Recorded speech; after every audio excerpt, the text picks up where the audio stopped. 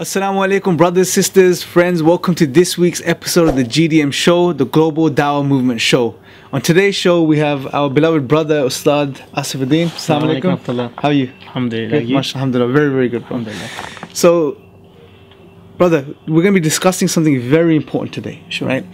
And that's to do with the da'wah and knowledge Mm-hmm. and how these two things come together and what's the balance between the two because we live in a time where we have almost two opposites.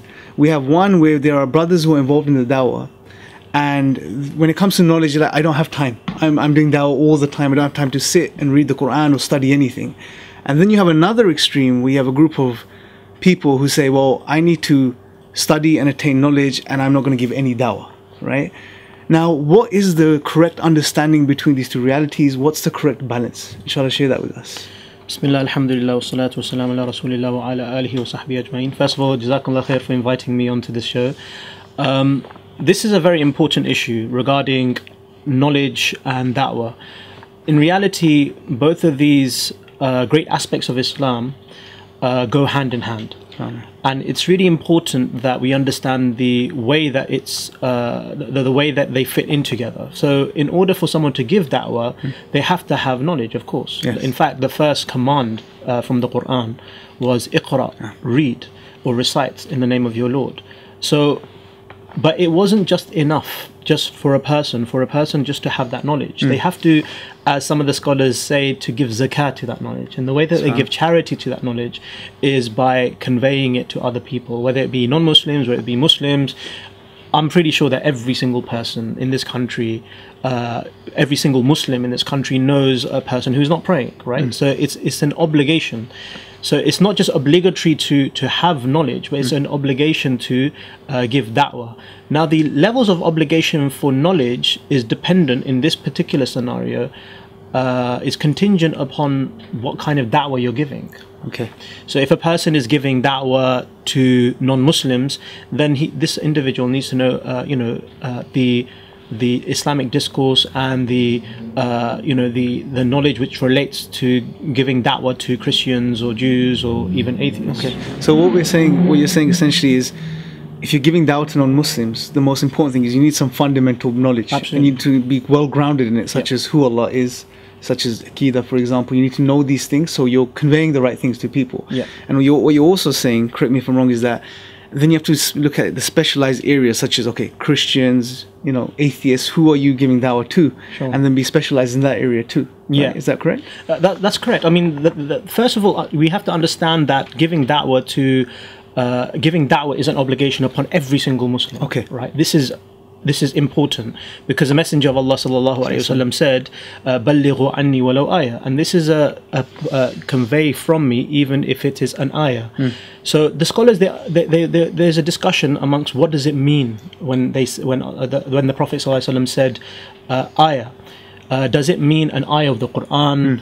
And some scholars have actually understood this, but there's other scholars such as uh, Sheikh Al-Albani and others who considered uh, ayah not to mean an ayah of the Quran per se, but it's just any sentence from the from the Quran or from the Sunnah. So it can include a, a, a verse from the Quran, or it can, it can include a uh, a statement from the Prophet, ﷺ, but not necessarily an entire ayah. Perhaps it's just a piece of knowledge. Right. Okay. So then, what they say is that based on this hadith, they say that there's two elements to this particular hadith. Like Sheikh Salih Al Fawzan, he mentioned that there's two ele- two levels of this hadith.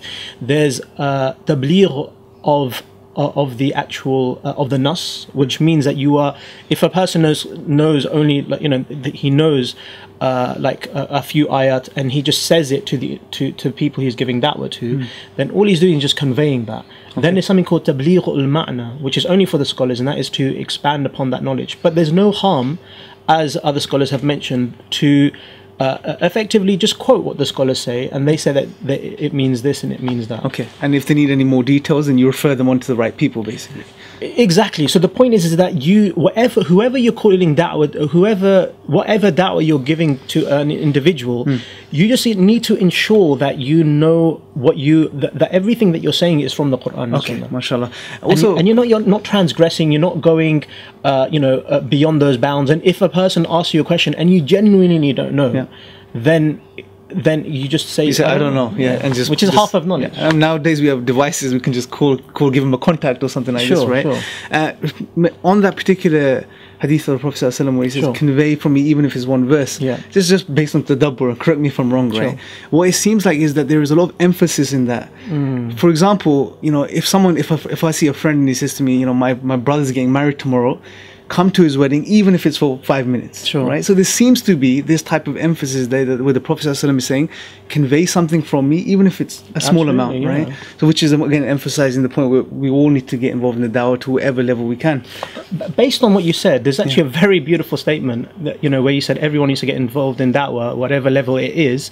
There's actually a very nice statement. I just want to read it out Yes, from Sheikh sure. Ibn Uthaymeen, and what he mentions based on this this uh, this particular verse, uh, this particular hadith, he said, if a person understands what he is calling to, it makes no difference whether hmm. he is a great and prominent scholar or a seeker of knowledge who is serious in his pursuit thereof, or a regular person who has certain knowledge of the issue in question. The Messenger of Allah sallallahu alaihi wasallam said, the translation is the convey from me even it is even if it is one verse or one ayah, and he did not stipulate that the caller should have reached a high level of knowledge, but it is essential that he should have knowledge of of that to uh, uh, uh, of that to which he is calling people. But calling out of ignorance or calling based on emotion is not permissible.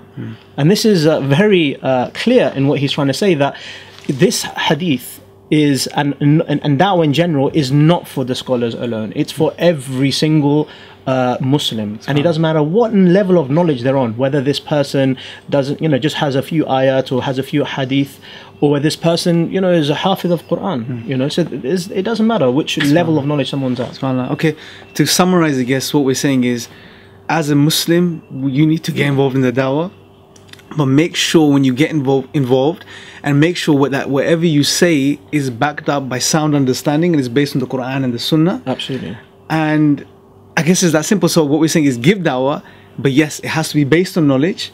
But there is no sort of pre-packaged amount of knowledge that you need before you get involved in the dawah, right? So it's convey what you know as long as you know it for certain and Sure. it's backed up, basically. Absolutely. Any last words of encouragement for brothers getting involved in the dawah now, or just general words of encouragement for the guys already involved in the dawah? Sure. I mean, my, the what I would say regarding da'wah is that da'wah is one of the best ways that a person can gain a huge amount of knowledge.